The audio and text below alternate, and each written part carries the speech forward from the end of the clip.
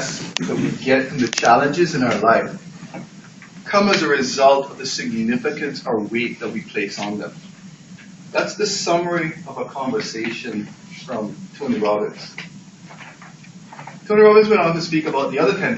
He said that 10% is the ones that we generally can't control too much.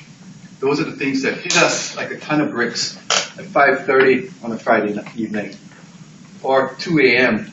on a Monday morning. It's the unexpected death in the family. It's the unplanned medical emergency. It's the impact of retirement funding as a result of changes in our economic situation. While we can't really do anything about them, I'm here to talk about the 90% that we can do something about. Good evening, Natalia, fellow Toastmasters, and guests. to tell you about this story, I'm going to give you an idea of some of the incidences or an event that was ha happened in my life some time ago, how it impacted me, how it changed me, and how I grew from it. To do that, I got to take you back to April 1989. My girlfriend and I were traveling to a job interview, and all of a sudden, the car I was driving started to shake like there was no tomorrow. Now, that happened to my car several times, so that wasn't a new experience for me. I knew exactly what was wrong. So I pulled off to the side of the road and was fixing the problem when a cop car pulled up. Now, to set the stage for you, as a young kid, my mother worked in the tourism industry. As an adult, I had a summer job and I worked on weekends at a dive shop here. So my experience with Americans and American tourists were pretty prevalent. The people that I interacted with, generally speaking, were people that traveled a lot, so therefore open-minded, generally well-educated, and affluent. And so that was generally my perception of what America was like. So this cop car showing up didn't really mean a whole lot to me. I thought help was on the way.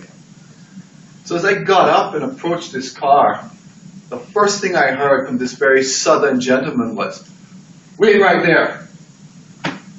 I stopped, and he continued to talk on his radio for what seemed like an amazing amount of time. Halfway between his car and my car, I kind of felt on this island, just standing there. He got off the radio and he said, Sir, license and registration, please. And I went to reach for my wallet, which was on the back side, right hand side of my of me, when I heard, freeze! And this officer went for his gun. Yeah, I almost peed my pants. Talk about gumption? No. In the most nervous, apologetic, looking for understanding voice that I could muster, I said to the officer, but you asked me for my ID. He said, sir, place your wallet on the trunk of your car and step away. And that's exactly what I did. My wallet was searched. I was searched. And then I was told the reason why I was being treated that way was because during that day, there had been a series of robberies that had occurred on that stretch of the highway. And the quickest and easiest way that I could remove myself as a suspect was to allow him to search my vehicle. I said, okay. And he proceeded to conduct the search. The most dangerous weapon that that officer found at that time was my HP calculator. Yes, you can believe it. All of this was once a nerd. Fellow Toastmasters and guests, I thought my ordeal was over, but no, that was just the beginning. Because he said, even though I'd have complied with that, that he suggested that I make myself available for a police lineup. And that's when my girlfriend lost it.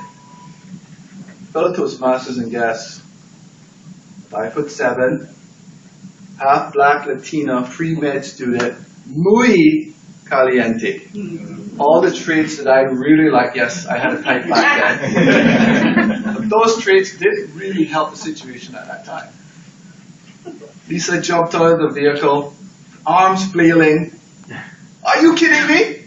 You've checked our vehicle, you see we have books, you've checked our student IDs. What do you think we're doing? You think we're robbing stores and throwing money out the windows we're driving down the highway? I turned from suspect to referee. Police on one side, police on the other. Long story short, I agreed to the lineup. I was eliminated, and 90 minutes later, I was on my way. But what I took from that experience, however, I balled it up, put it in my luggage, my baggage, and I took it with me, defining it clearly as racism. How did it affect my perception going forward? The waitress that didn't meet my expectations in terms of service. The mechanic that I felt treated me unfairly. The bank teller that could have easily help me but just decided not to. Maybe, maybe not. I returned to the Cayman Islands, molded and started my own life. And two years ago, I embarked on a self-improvement journey.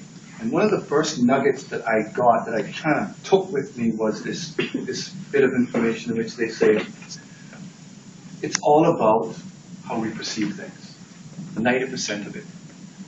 What if, instead of thinking racism, I thought, young police officer, first time, trying to deal with a very difficult, intense situation?